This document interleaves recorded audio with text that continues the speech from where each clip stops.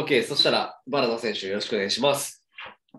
お願いします。いやー、91年生まれの天才、バラダ明美君です。ありがとうございます。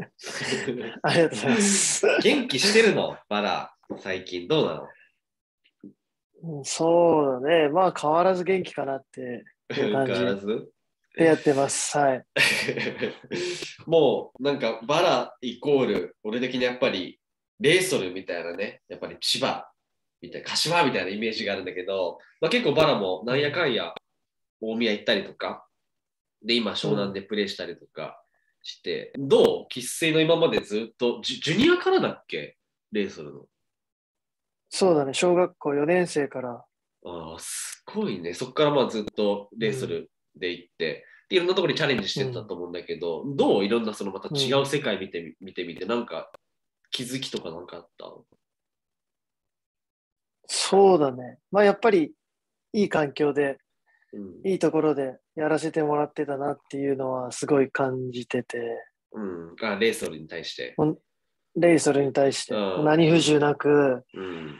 えー何でもやらせてもらってたし、うん。自分のわがままも何でも通してもらってたし、うん。うん自分が何も言わなくても周りが勝手に動いてくれてたりとか、うんうんまあ、そういうのはやっぱりレイソルにいたからこそ長い間いたからこそそういうのがあったんだなっていうのは、やっぱ他に行って分かったかなっていうのは思うね。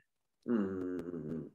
で一方でそのやっぱりそういう世界とは違う地域とかに住んでみたり違うチームに所属してなんか自分の選手としての、まあ、幅であったりなんか世界観っていうのは広がったみたいなそういう認識ってある？それはあるね、やっぱり。うん、出ないと多分経験しなかったら、まあ、良くも悪くもだと思うけど、出ないと経験しなかったことを多分経験してるよね、こう数年間ね。うん、うん、海外行って、まあ、こんなことあんま聞いちゃダメか。海外行きたいなとか思ったことってバラあるの？幼少期一緒にね、世代別代表入っていろんな海外とかも行ったことあると思うんだけど、それってあんまりないかな？ってどう？なの今はもうあんまりないかなって感じだけど、う。ん。まあ、若い時はやっぱり日本代表とかも目指し、今も目指してるけど、まあ、そういうの近道になるのはやっぱり海外行ってプレーすることなんじゃないかなっていうふうには若い頃はうん。非常に思ってたかな。ああ、なるほどね。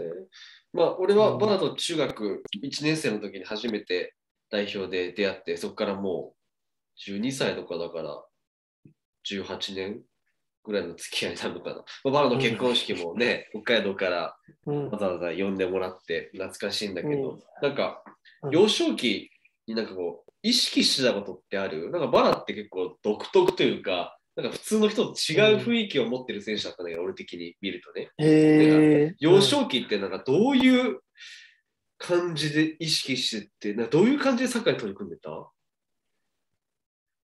幼少期ってどれぐらい小さいあーまあ小中とかかな。なんか子供の時これ意識してサッカーしてましたみたいなことなんかある？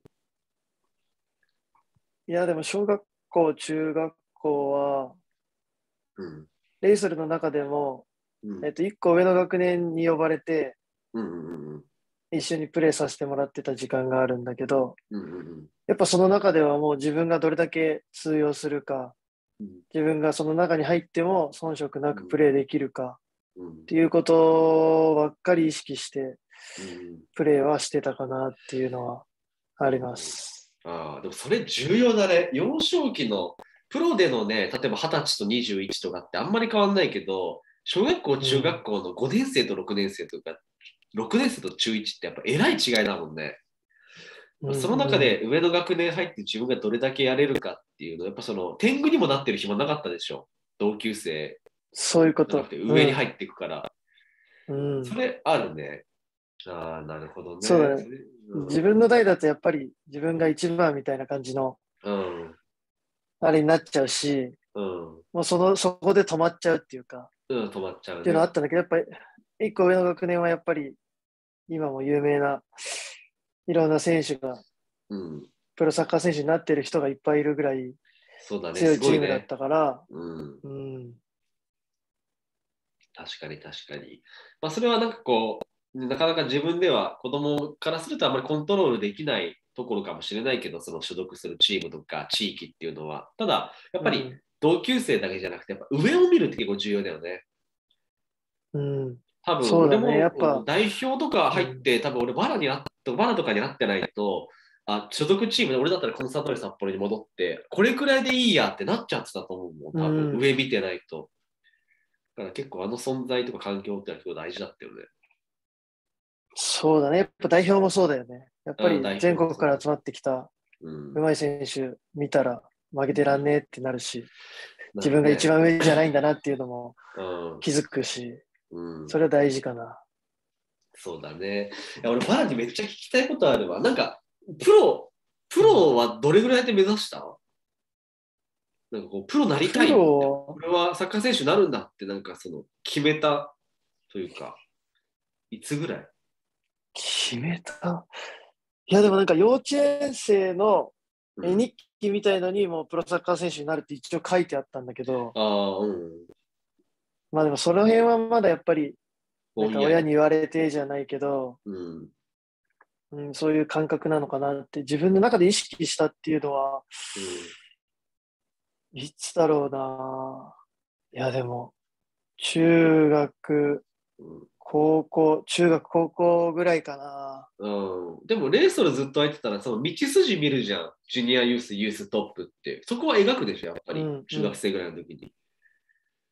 そうだね、見るし、一緒にやってた、やったことあるような人うん。とか、見たことがあるような人がプロになるっていうのは、うん、そうね。やっぱりこう、自分、自分もあの道になり行きたいなっていうのは、すごい近くで感じたかなっていうのうん。あるかな。なるほどね。なるほど、なるほど。バラってそのなんか、例えばあいつに負けたくないとか、そういう感情ってあるの？素朴な疑問なんだけど。なんかバラって、まあ俺もどちらかというとそういう選手だったけど、あんまりこう、なんていうの？まあ淡々とプレーするって言ったらちょっと悪く聞こえるかもしれないけど、あんまりこう感情の起伏がなくて、自分はやるべきことをしっかり自分に矢印向けてやる。だからその文句言ったりとか、ああだこうだっていう、なんかそういう、そのえ負のエネルギーをバネにして頑張る人もいるじゃん。なんか、わかる、うんそういう試合に出られないとか、あいつに負けたくないみたいな、そういうエエネルギーをバネにして、ブワンって燃えたぎる人もいると思うんだけど、なんか俺から見ると、うんバラってそうじゃないのかなと思ったりするんだけど、でもあるの、こう、ふつふつと、あいつに負けたくないとか、悔しいみたいな気持ちって。まあでも、なんか個人を特定して負けたくないっていうのは昔からそこまでなくて、うんうんうんやっぱり自分が試合に出た時に自分のチームが勝ちたい。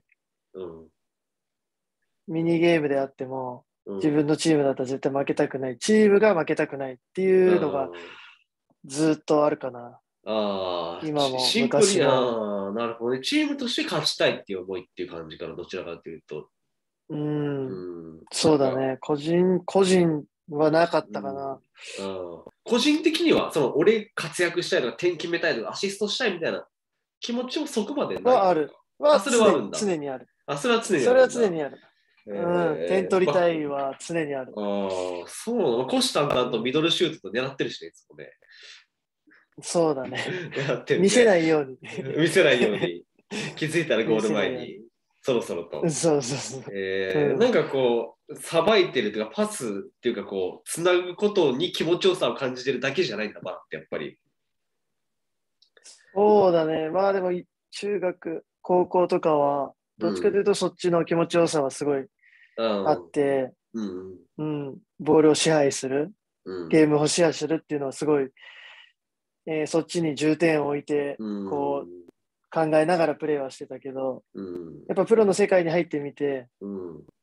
うん、内容もそうだけど、やっぱり結果が大事。うんっていうことを考えると、やっぱりうん。自分も点を取りに行きたい、自分もうん。活躍したいっていうのは、プロに上がってなおさらこう、その個人にフォーカスしてうん活躍したいっていうのは思い始めたかな。なるほどね。まあ俺はバラにね、本当直接、もう面と向かっていつも言ってるけどね、俺はもう同級生でバラが一番天才だと思ってんだよね。いつも言うけど。でもう出会った時から、こいつなんかちげえなみたいな。まあ俺らの大の代表ってなったら、やっぱり元気とかね、まあ有名どころで、うんまあ、原口元気といえば、っていう感じだと思うんだけど、まあ、俺的にバラのすごいバラから影響を受けたっていうか、まあ、こんなプレイしやすい人ってこの世にいたんだみたいな、なんかもう ポンって動き出したらもうバラの方見てなくてもバラが持った瞬間にガッて裏動き出したらボールここ出てくるみたいな、うん、本当あの漫画じゃないけどなんだろうこの人みたいな。俺だからバラに出会って結構サッカーの面白さをね、まあ、代表っていう空間でより感じたっていうのがもうマジであって。で俺は、そういうことをね、もう素直に言うから言うんだけど、なんかその、バラのやっぱりそういうサッカー、まあ技術ももちろんそうだけど、サッカー IQ っていうかさ、なんか賢い選手だなって昔から思ってて、あれって先天的なもの、それとも後天的なもの、なんかその練習とかトレーニングで身につくもの、あのなんかサッカー IQ っていうか、なんか、なんて表現したらいいんだろうね、あのサッカー IQ ってね。なんか、こうなったらこうなるとか、本当まるでね、本当ピッチを上からのぞ覗いてるようなイメージでサッカーする、う。ん、それってなんかトレーニングで身についていった感じある？それとも自分もともとそういう感覚がある？いや、もともとそういう感覚を持ちながらいて、うん、やっぱ中学校、小学校の6年生ぐらいに出会った指導者、吉田達馬さんと出会ったんだけど、まあ、その人にうん、プラスアルファじゃないけど、うん、より磨かれいろいろ。そうそうそうだね、うん、そういう感じ。まあレーソル自体がねそういうのを結構磨ける環境だったと思うしね、まあ俺らが中学校になってからやっとそういう環境になったかなっていう感じ。うん、そっかそっか。なるほどね。うん、もうだからなんかどういうふうに育てたらバラみたいになるんだろうみたいな親親だったら。まあ、それで次聞きたいことが、なんかそういうバラのそういう性格的なものとか、はい、まあマインド的なところとか、まあ、そのサッカーの技術であったり、まあ、いろんなそのバラだ君を形成したわけじゃん。ちっちゃい頃からずっと来て。で親になんかこういうふうに育てられたとかよく言われてたこととかなんかそういう印象に残ってるエピソードみたいなのって何かある？印象に残ってるエピソードは、なんだろうな。まあでも、お父さんにはよくサッカー見に来てもらってたし、うん、今もそうだけど、サッカー教えてもらったっていうのはあるけど、うん、やっぱりなんつうんだろうな、そのスクール1回だ練習であっても、うん、やっぱり自分が良くないプレーした時には、めちゃめちゃ怒られたし、あ、そうなんだ。うん、お前何やってんだよみたいな感じで。言われるタイプだったんだ。まあでも、その小学校3年生まで、うん、F 等のスクール行ってたんだけど、あ、そうなの？そう、F 等のスクールの時は、うん、やっぱ帰りお父さんと車2人で、お前今日のプレー全然ダメだぞみたいな感じで言われて、なんか泣きながら家に帰るっていうのは、結構何回かあったかなっていうので。そうなんだ。お父さんサッカーやってたの？お父さんは大学までサッカーやってた。ああ、そうなんだ。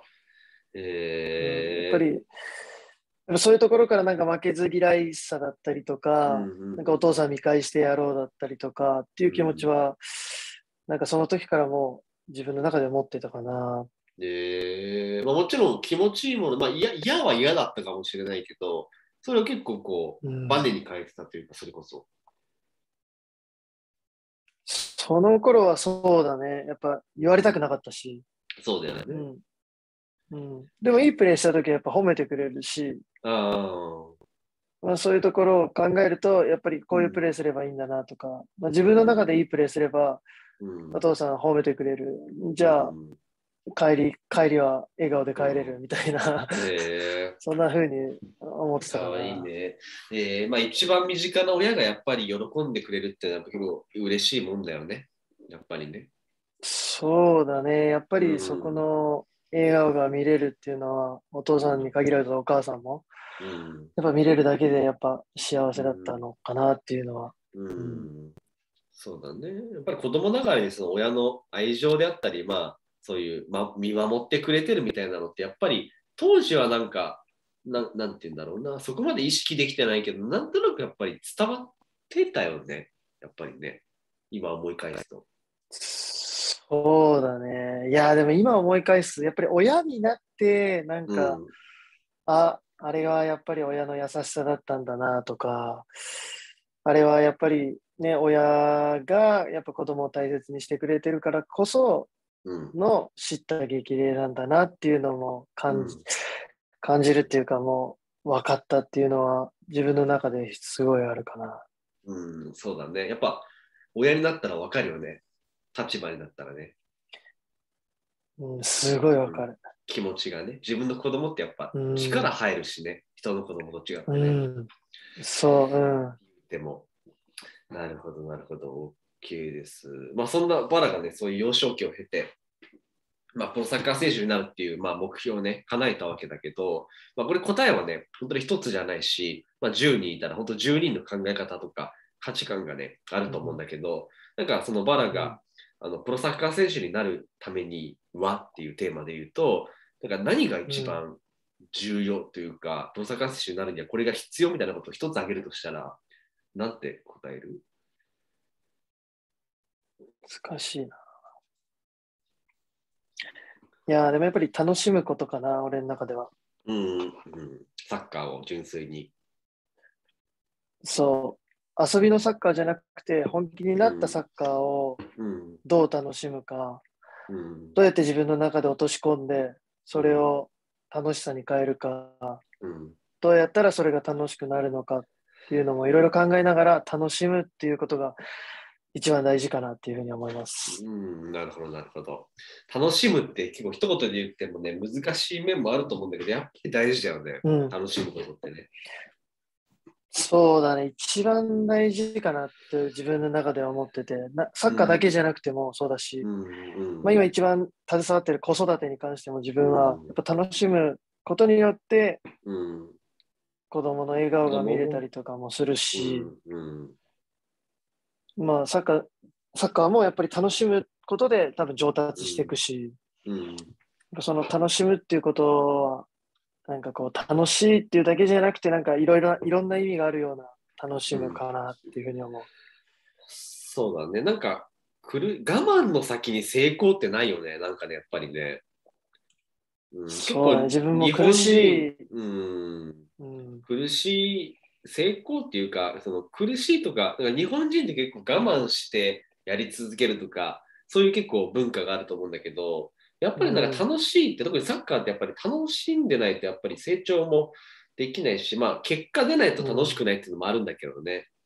うん、うん、うん。うん、でもすごく大事な、なんか、うん、簡単に言ってしまうけど楽しむとかね、ただ本当に大事なテーマだと思うね、やっぱりね、サッカー選手になるためにはね。そうだね。うん。うん。確かに誰もが楽しい、楽しんだ方がいいって言うかもしれないけど、いや、本当にそうだなっていうのはすごいうん、改めて思うし、そうだね。そこをどれだけ、うん、自分の中で楽しめるかっていうのがうん、一番大事かな。人生のテーマだね、楽しんでプレーする、楽しんで生きるっていうところ。うんやっぱ特にうんサッカーってやっぱりそのメンタルスポーツっていうか感情がすごくパフォーマンスに現れてしまうじゃん。良くも悪くも。うん乗ってる時はやっぱりプレーも乗るし、やっぱり精神的にちょっと不安定な時はやっぱりプレーも不安定になるしっていう、すごく感情とこう体ってリンクしてて、それがもろにこう出るよね、パフォーマンスにね。うん、うん、まあどんな業界でもそうなのかもしれないけど。確かに。うんうんわかりました。そしたら最後に、まあ、バナみたいに、まあ僕もそうだったけど、幼少期、まあ、プロサッカー選手になりたいとか、こういうね、道筋を描いて、まあ今、テレビに映ってるね、サッカー選手になりたいみたいな夢をね、描いている子供たちと、まあそれを支える親御さんっていると思うんだけど、まあそういう子供たちに向けてと、まあその保護者様に、親御さんに向けて、あの、最後、お願いします。なんか一言。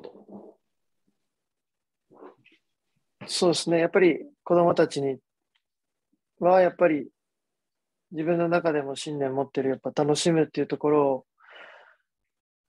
どれだけ持ち続けながらやるかっていうのが大事だと思うので、えー自分の中でしっかり楽しみを見つけて、それをどんどんどんどん膨らませてやっていってほしいなっていうふうには思います。うんうんえーあと、自分も親になってみて、やっぱり言いたいことだったりとか、やらせたいことだったりとかっていうのはたくさんあると思いますけど、まあやっぱり子供の頃もそうですけど、やっぱり見守ってくれてる親っていうのは、えっ、ー、と、非常に選手にとってもありがたいですし、えー、支えにもなると思うし、えー、くじけた時に支えてもらえたら、なお子供は大きく成長していくと思うし、まあ、そういうところをやっぱり常に見守って、えー、一緒に成長していってほしいなというふうに思いますね。OK です。ありがとうございます。また、はい、バラダ2世がね、どっかから出てくることを楽しみに していましょう。バラが、はい、バラダが育ててほしいな。バラが、バラみたいな選手を日本のこの J リーグ界に輩出してほしい。そうだね。一緒一緒にサッカーやりたいな、そういう一緒にサッカーやりたいね。まあ、まずでもバラだとじ、バラだね、自分の子供と一緒にサッカーやる方が近いかもね。自分の子供にサッカーを教えていくっていう方が。ああ、まあ、一番最初のミッションかもしれないね。そうそういうのある子供をサッカー選手にさせたいみたいな。は、そこまで強くは思ってないけど、うん、でも子供はすごいやりたいって言って、サッカースクール行ってるし、あそうなんだパパに負けないようにって言って、家で練習してるし。あ、そうなの。そう、それは結構見,、ま、見いやでも見守るタイプかな。あそこでね、いろいろ力入って、お前はだぞこうだぞっていうのもね、それをそれでまたね、プロだからこそ難しいよね。うん、知ってるからこそ言いたくなるしね、やっぱりね。うん、そうだね。細かく言いたいんだけど、うん、言い過ぎてもやっぱり、うん、やっぱさ,、ね、さっき言った楽し楽しんでもらいたいから、やっぱり。あそうだね。まずはね。そう、辛い、辛いものとか嫌なものって思ってもらいたくないから、うん、そういうところでやっぱ、かける言葉っていうのはやっぱ難しいかな。そうだね、僕たちもまだね、そこら辺は親としてはまだまだ新米なんで、トレーニング中だね、ここはね。OK です、OK です。わかりました。まあみんなでそういうね、なんか、はい、情報じゃないけど、サッカー選手しか持ってないそう経験とか知識であったり、まあ、あの親もね、親としてのこともなんかみんなでね、こう助け合いながら、なんかね、サッカー進めていけたらいいね。はい。OK です。わかりました。じゃあ本日は以上になります。ありがとうございました。ありがとうございます。はい。